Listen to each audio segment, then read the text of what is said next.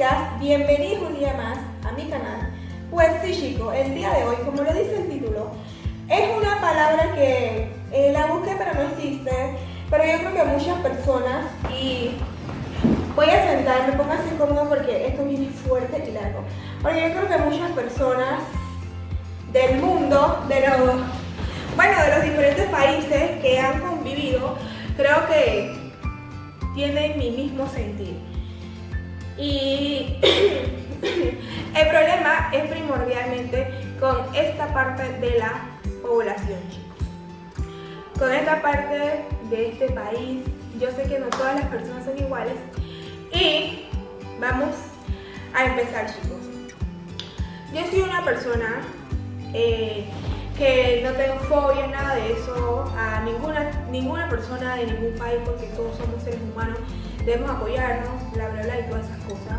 Yo siempre lo digo, yo salí con varios venezolanos, tengo amigas venezolanas y no tengo ningún tipo de problema. Y de igual manera tengo una bonita amistad nueva con personas de este país que es súper lindo y todo eso.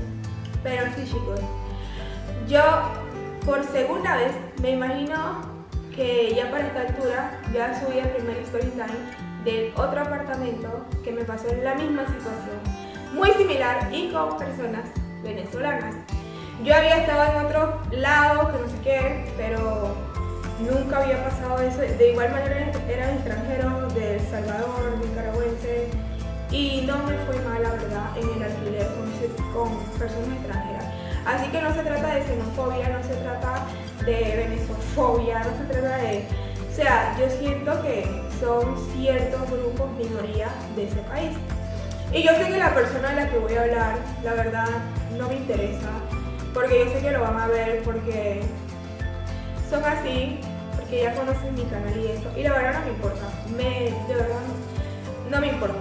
Sí chicos, yo, como saben, los que vieron el story time del primer video, eh, yo me cambié al nuevo apartamento eh, por el motivo de que en el apartamento anterior, que también eran venezolanos, ahí eh, vivimos, no sé qué, pero el dueño metió a una muchacha y la muchacha empezó a comer mis cosas y fue un solo problema, se roba las cosas de los dos y él fue un bueno, ya me imagino que ustedes vieron, y los que no lo vieron, vayan a verlo. Aquí abajo les voy a dejar el link para que vayan directo a verlo. Sí, chicos, este, voy a tratar de ser lo más breve posible. Yo me mudé al otro apartamento por la situación que había pasado con los otros eh, venezolanos en el otro apartamento. Entonces yo, a mí me pasan esas cosas por estúpida, por imbécil, por querer ver el bien en las personas y decir que, ay, no, todo el mundo es así. Pero yo sí creo que la verdad todo el mundo es así. Y hago énfasis porque no puede ser que siempre sea con las personas de este país, ¿ok? Y eso me da mucha tristeza porque uno no puede juzgar a todos por cierto grupo. Yo me mudé al otro apartamento como ya ustedes les estoy contando y les estoy diciendo. Y este eh, yo llegué al apartamento y yo hablé con el muchacho, eran tres habitaciones, yo alquilé la habitación principal con el baño adentro y la más grande. Él me dijo, yo fui como la segunda en mudarme, cuando yo llegué ya ahí vivía él y pongámosle a esa persona, a Juan, él y Juan, vivía el muchacho y Juan, bueno. Yo hablé con ellos, él me dijo, no, aquí nadie se toca tus cosas, que esto, que lo otro. Faltaba, no había lavadora en el apartamento faltaba lavadora. Él me dijo, ay, no te preocupes, en 15 días te la arreglo, que ya, que esto, que lo otro, bla, bla, bla, Yo, bueno, no pasa nada, yo no voy a llegar exigiendo. Correcto. Yo, la nevera, la nevera no servía, era una nevera vieja, estaba dañada, y yo ahí pagaba buca plata. Tuve que pagar un mes de adelanto, como se hace en todos lados, que era bastante plata, y pagar el mes actual, que, ni, que había entrado. En total pagué 800 dólares. Correcto. La cosa es que yo entré y bien, yo empecé a comprar mis cosas con los días. Digamos que yo hablaba súper bien con Juan. Todavía no se había mudado las demás personas, yo era la única mujer de ahí. Él me dijo, no te preocupes que aquí nadie te, se toca tus cosas y yo voy a meter a vivir aquí a una pareja, un hombre y una mujer más, yo y Juan. Yo, ah, bueno, correcto. La persona no se llama Juan, le puse Juan porque el imbécil seguro va a saber que es joven. Y si lo está viendo, ni me importa. Sí, chicos, entonces la cosa es que yo, ya yo me quedé ahí, los días empezaron a pasar, no seguía yo así con el problema de la lavadora. Empecé a ir al lavamático a lavar. Yo le pregunté, yo, mira, que esto que lo otro, nunca solucionó el imbécil ese. ¿Qué pasó? Le comenté lo de, la, lo de la nevera, nunca pasó eso. Él empezó a meter más personas de la cuenta. Él empezó a meter a tres personas en un cuarto, a tres en el otro, ya eran seis, más dos en la sala ocho, eh, más yo eran nueve y nada más había un baño allá. A mí ni siquiera me importa que hagan la gente, que si quieren dormir uno encima, eso no es mi problema. El problema era que en la cocina todo lo dejaban asqueroso y metió a puro hombre a vivir ahí. Yo era la única mujer. Cosa que él cambió eso. No sé qué. Nunca compró la nevera. Nunca compró la lavadora. Yo le hablé miles de veces con él, pero obviamente él se lo zurró y se lo pasó en el trasero. Bien. Pasaron los días, yo le, yo le dije, hermano, se están comiendo mis cosas porque yo sé lo que yo compro. Y se comieron mi conflate. Aquí lo deja la foto de lo que puse. Se comieron mi conflate, se comieron un helado mío. Y mis cosas las dejaban afuera, tocaban todos los míos. Y dije, man, ¿qué está pasando? Mira, le hablé miles de manera bien. Nunca me enteré súper calmada. Yo, mira, por favor, ayúdame, solucioname. Yo no quiero irme, me gusta mucho el apartamento, todo el edificio, bien. La cosa es que él le valió tres. Él a su amigo no le dijo nada. Y obviamente que ellos tenían que saber quién era el ladrón. Uno de los muchachos que vivía ahí. El muchacho y yo hicimos una amistad bastante profunda. La cosa es que al muchacho lo echaron. Él echó al muchacho porque, por cosas de la vida, él echó al muchacho porque el muchacho no les patrocinaba a su esposa. El muchacho antes de irse me dijo, mira, el que se está robando tu esposa es Juan. Pero Juan a mí me había dicho que el que se robó la esposa era un muchacho ahí súper, pero súper tranquilo. Que el muchacho se iba a su trabajo, era un muchacho, todos eran venezolanos, un muchacho súper trabajador. Que el man se iba al trabajo con arroz pelado sin mentirle, con tal de no tocarme mis cosas a mí. Juan era el que se robaba mis cosas y él culpaba al otro muchacho tranquilo. Y después tú lo veías con el muchacho parqueando que esto que lo otro. Y me decía a las dos horas, ay, él me cae mal que esto que lo otro. Un día le dije que, man, pero si el pelado te cae mal, ¿por qué razón tú estás parqueando con él? Si a mí alguien me cae mal, yo ni siquiera me voy a acercar a esa persona. Eso me parece súper hipócrita. Cuando uno de las personas de ahí eh, yo hablo con el muchacho súper y el muchacho me comenta y me dice, no, mira, aquí se habla muy mal de ti. Y yo no veo que tú eres una mala muchacha. Si tú no te metes con nadie, tú compras lo tuyo. Yo hasta compartía mis cosas, faltaban cosas y yo las compraba. O sea, porque yo no tengo que estar diciendo eso, pero el tipo de persona que yo soy, o sea, eso no me iba a quitar ni me iba a hacer más rica ni más pobre. ¿Qué pasó? El muchacho me comentó y me dijo, no me gusta lo que se habla de ti. Yo dije, pero ¿quién habla de mí? Yo dije, pensé que era otro. Me dijo, no el que habla de ti es Juan y es Juan el que se come tus cosas. Y Juan era súper amigo mío, pero yo no me extrañé porque yo dije, este es un maldito hipócrita, porque si él habla mal del muchacho con que él siempre está, ¿qué se espera para mí? Si él habla mal de sus compatriotas, su gente venezolana, ¿qué se espera para mí? Y a mí me decía, lo venezolano de ahí me decía la panameña, yo tengo mi nombre que es Madeleine, para que vean, porque después hacen la víctima y que, ay, todo me tiene xenofóbica, ay, por eso yo vengo a mi país a luchar, que soy la víctima. No, mi amor, no confíen y se lo estoy diciendo yo, me pasó dos veces por andar confiando, creyendo y pensando en que todo es bonito y pajarito preñón, no, mi amor. Y yo se lo digo de todo corazón, no todos son así, pero no confíen. No confíen porque luego quedan como yo. ¿Qué pasó?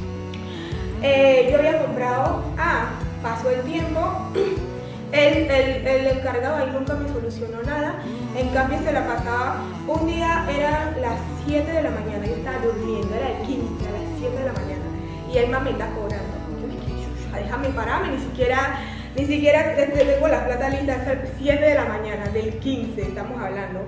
Él es cuando yo me mudé, le dije, no, yo te doy 3 días para que pague, ah, no te preocupes. Cobrándome, yo le dije, sí, yo te voy a pagar. Yo fui corriendo, busqué mi plata y a las 10 de la mañana él tenía su plata. Cuando yo le preguntaba lo de la nevera, él se hacía el loco, él se hacía el aéreo y se hacía el huevoncito. Está bien, no pasa nada. La cosa es que yo no confronté a Juan, yo no le dije nada, yo me quedé callada. Pero él hablaba súper bien conmigo y yo tomé una actitud de seriedad. Él me hablaba, yo no puedo ser hipócrita, yo no soy hipócrita, yo soy como soy yo. Él me hablaba yo seria, igual con mi hermana, que mi hermana se empezó a quedar conmigo. Todo lo que él me decía, yo una actitud súper seria, porque yo voy a reírme con alguien que es así, hipócrita, doble cara, y atrás de mí me está dando machete, estamos hablando de un hombre, y yo soy una mujer, o sea, en serio, ni, ni el caso. La cosa es que Juan, yo un día me había quedado una carne y yo se la regalé al muchacho que Juan decía que era el ladrón. Yo compraba mi carne y la metía en una bolsita y la metía en una bolsita. Yo solamente hacía eso, la sazonaba y la metía en el congelador. Ellos ninguno hacía eso. ¿Qué pasó? Todos sabían cuál era mi carne porque yo la metía en las bolsas de que sí. Sí, chicos, para no alargar el cuento, yo le regalé la carne porque ya no la quería a uno de los muchachos, al muchacho que le estoy comentando, al que culpaban de ladrón.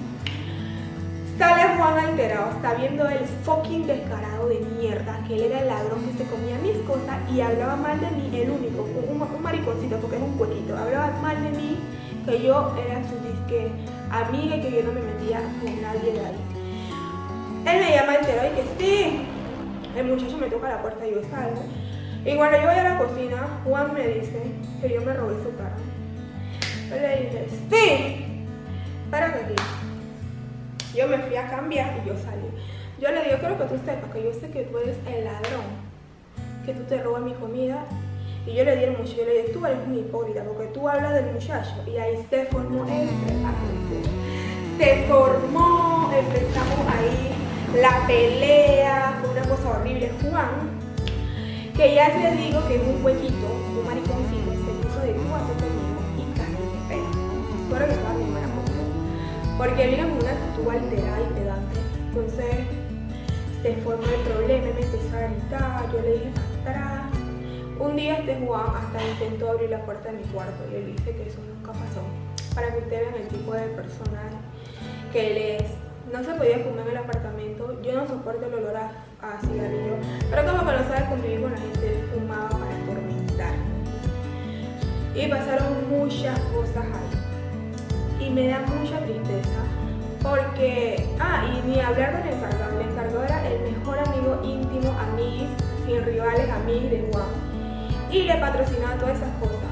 A, otro de los muchachos, acuérdense que eran como 9, 8 que vivíamos ahí, aparte de mí, los pocos de hombres, uno de los muchachos tuvo que ir por lo mismo, porque Juan le empezó a robar sus cosas. Después el muchacho se contactó conmigo porque el encargado de ahí, a su propio amigo, a su propia gente venezolana, le robó porque no quiso pagar sus depósitos para el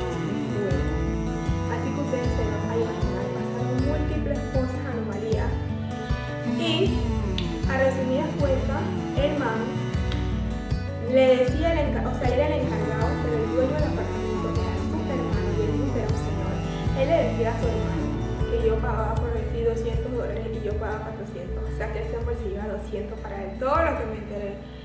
Después el hermano al final se contactó conmigo, me pidió disculpas porque no puedo decir que todos los venezolanos y toda la gente es así porque disculpen, este hombre fue súper responsable. Se contactó conmigo, me pidió disculpas, me dijo mañana más tardarte tengo tu dinero listo, me devolvió mis 400 dólares de depósito él fue una persona, nunca lo conocí, nunca le vi la cara, pero fue un hombre súper legal, que me dio lo mío, me, le dio mucha pena por todo lo que me habían hecho, por todo lo que yo había pasado ahí en su apartamento con su hermano. Y al final el encargado se metió conmigo porque el otro muchacho, él no le quería dar su depósito y el muchacho lo dijo que le iba a demandar y le sacó una boleta, que no sé qué, todo eso fue un problema. O sea, que no fue solamente conmigo y él me llamó altero de que sí, que yo te hice a ti, que no sé qué, ¿por qué me estás demandando? Y yo dije, man, yo no tengo ni siquiera tiempo para demandarte, pero qué aburrimiento, o sea, ubícate. Y él quedó en super que me dio como el otro muchacho, yo no supe más nada, yo bloqueé a todo el mundo, yo recibí mi plata, yo le di gracias al Señor, bloqueé a todo el mundo, borré WhatsApp, todo esto. Pero sí, chicos y chicas, es la segunda vez que me pasa esto con personas venezolanas viviendo. Y yo la verdad no, no espero y gracias a Dios, Dios me dio la oportunidad de no tener que pasar por eso una tercera vez yo no confío, no creo en las personas de este país, ahora me da mucho miedo. Yo he convivido con otro tipo de extranjeros, Yo digo que todas las personas de este país sean de esa manera y ahora no se victimicen, no se hagan, ay, no, mi amor, no, nada de eso. No se trata de xenofobia, no, eso no tiene nada que ver con eso. Yo siento que de ahora me da mucha pena lo que a mí me pasó. o sea, dos veces, una vez no, dos. Y es por lo mismo, porque se comía mis cosas, se estaban robando lo mío. La primera, el primer lado se comió mi cosa, se robó mi plata, que no sé qué, bla, bla, bla, de todo. Y ahora acá lo mismo, se robó mi comida, se comía mis voy a dejar una foto nuevamente de todo lo que pasó el conflicto y la sociedad para que ustedes puedan ver que yo estoy inventando, fumando, bla, bla, bla, todo eso. Miren, ¿quién podía vivir en estas condiciones? Así que chicos y chicas, no tengo nada en contra de ese país, pronto algún día, y sea pronto, que Venezuela pueda salir de esta situación. Un beso a la gente de Venezuela, de verdad los quiero muchísimo y los aprecio. Yo sé que no todos son así, pero eh, quise contar esta experiencia porque ha sido súper difícil de superar, me dejó como traumatizada y no quisiera que a nadie le pase. Y si eres panameño o lo que sea, no te recomendaría vivir con este tipo de personas así porque es mejor prevenir que lamentar para que no esté como yo. Yo siempre quiero darle oportunidad a la gente y esto fue lo que sucedió. Así que chicos y chicas, gracias por verme, los quiero muchísimo. Nos vemos en el próximo video story time, blog, lo que sea. Así que chicas y chicas, gracias, los quiero mucho.